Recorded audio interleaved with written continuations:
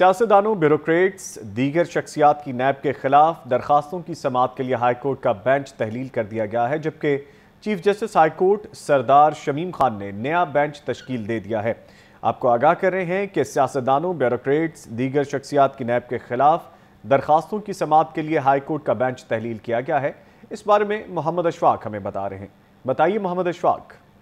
जी, बिल्कुल, chief justice, Lahore high court justice Sardar Mohammad Shamim ने सियासतदानों से नैब की अपीलों और मुतलिक जो बेंच तहरीर हो चुका था, अब नया बेंच तश्कील दे दिया गया है। नए बेंच में जस्टिस अली बाकर नकवी की जगह पर जस्टिस वकास गौर मिश्रा को शामिल किया गया है और ये नया दो रुकनी बेंच जो कि नैब से मुतलिक केस करेगा, ये इक्कीस जनवरी से लाहौर हाईकोर्ट में नैब की जानब से दायर की जाने वाली अपीलों पर अपनी समाप्त करेगा। इससे कबल दो रुकनी बेंच अली बाकर